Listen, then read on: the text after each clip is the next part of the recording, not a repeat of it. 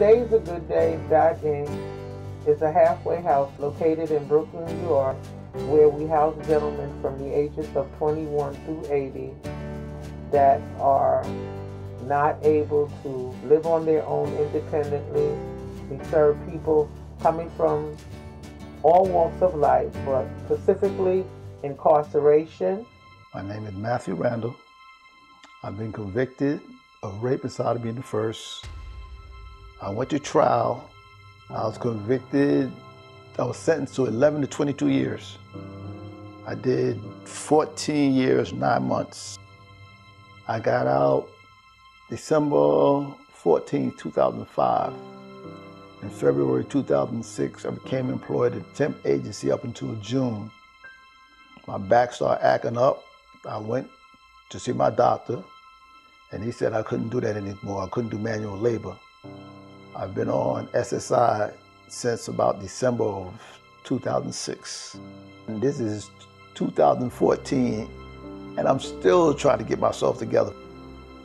I regret the crime that I committed. I regret it for the rest of my life, or something like that will never leave you. I got out of character. I took the wrong path and I kept going rather than stopping. I kept going, knowing it was a strange path to be taken because I, I, I never been been that way before, been on that side. So I took the path to the right my whole life, and this time I went to the left, and this is where it got me. I um, not a moment goes by that I don't think about it, that I don't regret it. That not a moment that it goes by that I don't think about the people whose lives I touched by doing what I did.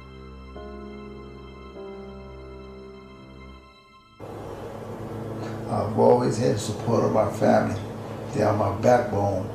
From the day of conviction to the time I got out, they didn't treat me any different. Right? As long as they understand I was really trying to change from what I had done to get convicted.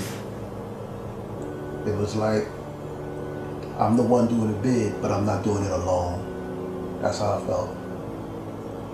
My son came up once, and he didn't like the fact that uh, they tell him to strip and bend over. And he felt humiliated. He never came back again. After that, we just used to write one another. That's how we corresponded after that. These are the individuals' lockers. The reason locks are on them is to protect their food. One guy left his locker open so if somebody was hungry, they could come in and go in there and take something and eat. He was missing too much stuff. He decided to lock it like the rest of us. Hi, I'm Life Coach Joy Lane, and I'm here to help men and women in limbo reintegrate society after life behind bars. In order for them to do this successfully, they need access to any and all resources that are available to them, as well as a support system. And that's what I'm here for to be a cheerleader for them and to rally them along the way.